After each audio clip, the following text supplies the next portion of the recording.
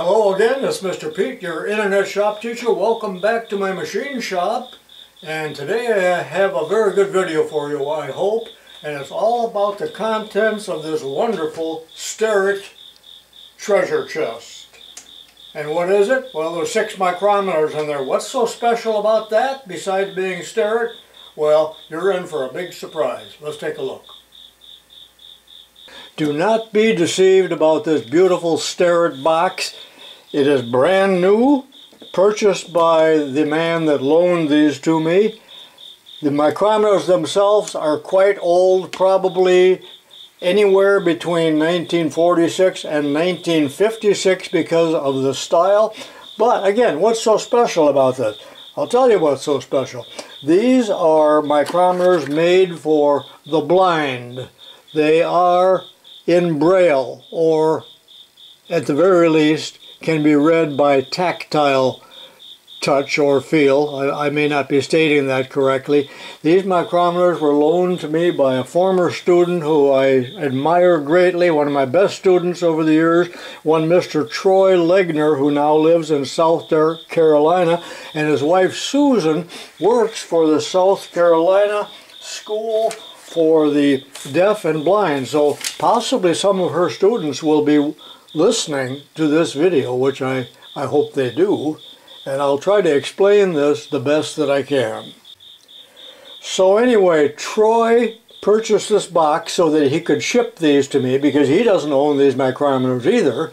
He also bought the standards here, so these are brand new insulated Starrett standards to, to check the micrometers for accuracy. I won't really talk about these, but it is a kind of a mismatched set.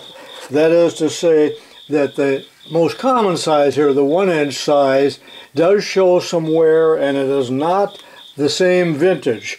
This one is a model, if I can read it here on the back side, well I don't see the model, probably because they are special made custom micrometers. They were never in the catalog, but this is what the rest of them look like. And these are model 226 and they're just beautiful, aren't they? And these are in perfect condition and they have a stop right here and they have a ratchet. These were produced by Starrett. I think Brown and Sharpe and other companies made these too. After the war, President uh, Truman, I believe, or maybe it was Roosevelt. Uh, Roosevelt was dead by the time the war was over, so it was probably Truman that passed a law that all sight-impaired veterans would be trained for some type of occupation before they were sent back home after the war. I suppose you're thinking, well, a, a blind person can't be a machinist. I suspect that these were used for inspection.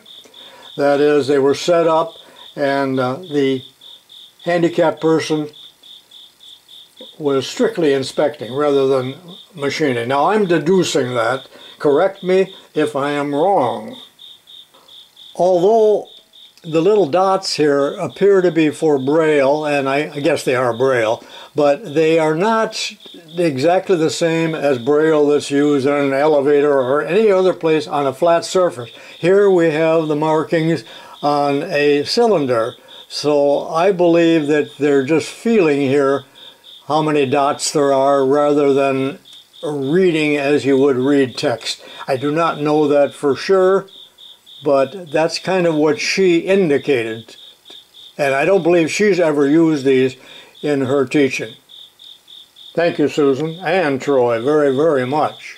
This is, of course, a regular micrometer. Notice that it has numbers that the sighted person can read, but there are no actual numbers on the thimble or the barrel of the Braille micrometers.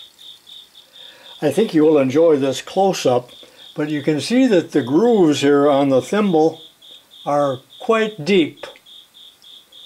And the braille dots here, or whatever they're called, are raised. I'm not sure how they manufactured this, but pretty interesting to see here. One, two, three, four, and five. Also notice the perfect knurl diamond knurl. So they're very well built and would have been extremely expensive to manufacture, especially in a small lot or a small run, which I would assume was done by Starrett. Now, a close-up here of the barrel. Take a look at how the graduations are cut. Again, they're grooves. And down here, I'm not sure the significance of that, but it, it's the halfway point, I guess all done with feel. And I don't know if they used thumbs or fingers or how that was done, but when we roll it over just a little bit, you'll see more graduations right here. I thought you would enjoy seeing the entire set laid out.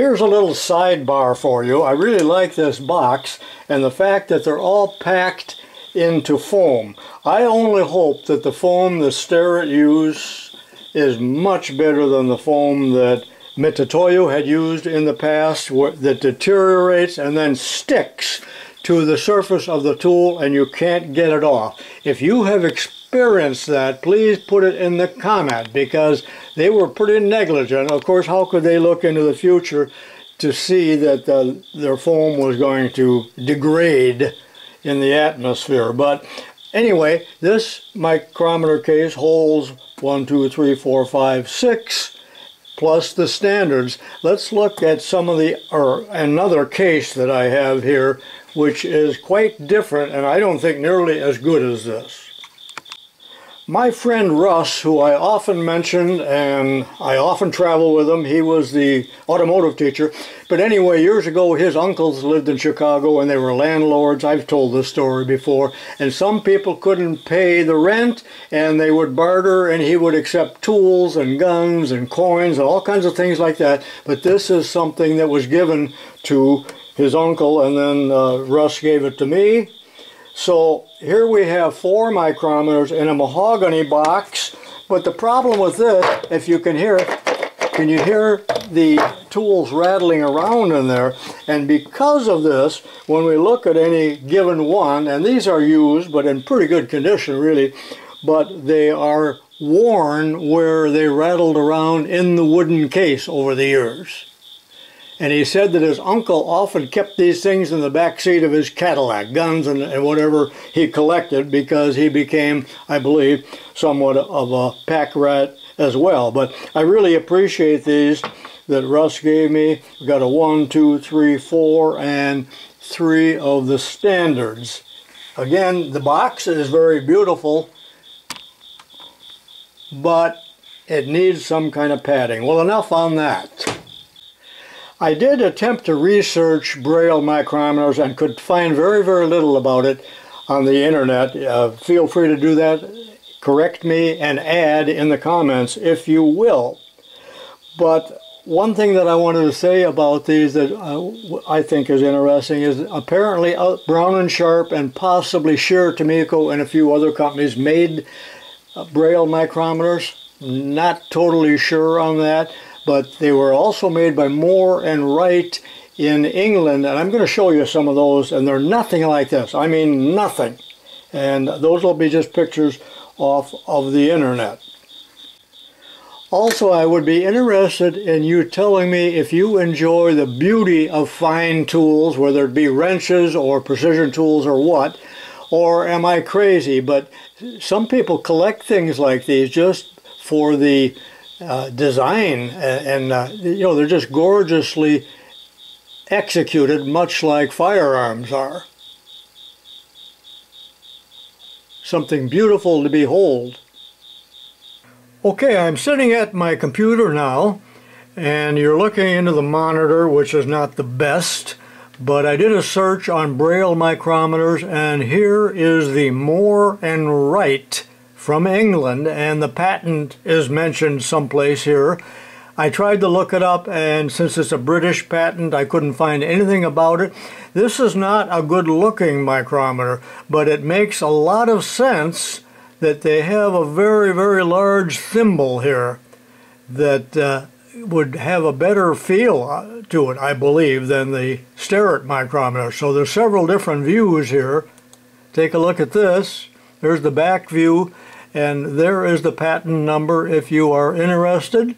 But it looks like they modified one of the regular micrometers and added this huge thimble on there. Maybe I call that a barrel. This is the thimble.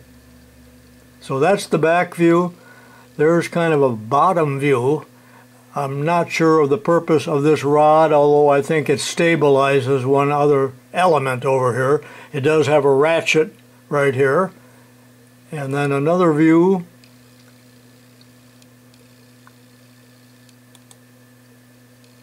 And a view from this direction. Possibly this entire assembly here is aluminum to lighten the weight, but I really do not know that for sure. I hope you found this interesting because it's quite a different slant on how to build a micrometer compared to the way Starrett did it.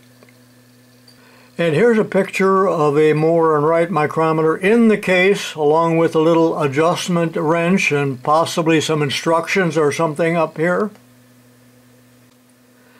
I thought you might enjoy this picture too because here it says we have a 1950s Braille micrometer for blind inspectors. Again, it's the Moore and Wright. Here is a small article in the 1947 Popular Mechanics magazine showing that Moore and Wright micrometer as well as a height gauge here made for the blind. Pretty hard to understand what this is all about here. Matter of fact, I don't understand it at all, but interesting to note that they made other instruments besides micrometers for the blind. And here's a Braille micrometer that has a greater range, it looks like from 0 to 5 inches perhaps, with the exchangeable spindles. I believe it's a Moore and Wright, but I'm not positive. Thank you very much, Troy and Susan Legner, and students out there in South Carolina in the School for the Deaf and Blind. I hope I did justice to these beautiful tools, and I will soon return them to South Carolina to the true owners. Stand by for just a little extra credit, if you will, on how Troy packaged these so that even the United States Post Office couldn't ruin them. I hope some of you find this interesting, but this is how Troy packed these. Now, I believe he bought this expensive box for the express purpose of shipping these to me in Illinois so that I could show them in a video. But this is the box that Starrett sent the, this uh, wooden box in. And this box, in turn, was inside of this Starrett box. So now we got them triple packed. And then this one in turn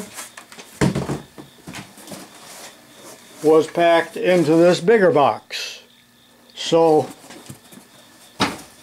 other than the post office just plain losing them, as it is their wont to do, a small A-bomb probably couldn't damage these. This is my wonderful former student, Troy Legner. This picture was taken a few years ago when he stopped to visit. Thank you, Troy. And uh, he's a tall man. He's about uh, six foot six, I believe. So he dwarfs me. But anyway, there we go. And I hope to see you soon, Troy. Well, apparently Troy doesn't trust the post office either because these were shipped to me by UPS and he gave me a prepaid label so all I have to do is stop a brown truck and hand it to them. But I'm very disappointed with uh, UPS because signature is required. I was home, I heard a truck stop and start again and looked out and I found this package on the front porch even though it says signature required. We'll try again on the next delivery day. Well they didn't do any of that. Didn't even ring the bell. Luckily I was home. So shame on you UPS well I hope it wasn't too hard on the post office and UPS but I've had some really really bad experiences that cost a lot of money And that will be explained in another video where I do a major rant if that would be acceptable. Put it in the comments if you can't stand to hear me rant about incompetent people. Maybe I'll try to cut it out, but it's hard for me. Anyway, I hope you very much enjoyed seeing these beautiful micrometers made for the blind. I wish the best for people that are handicapped with their vision or their hearing. I have bad hearing myself. So these will get packed back up in those three or four boxes and sent out here very soon. Again, a big thanks to Troy and Susan Legner out there in South Carolina. Hello to you and so long to everybody else. Thanks for watching. I'll see you next time.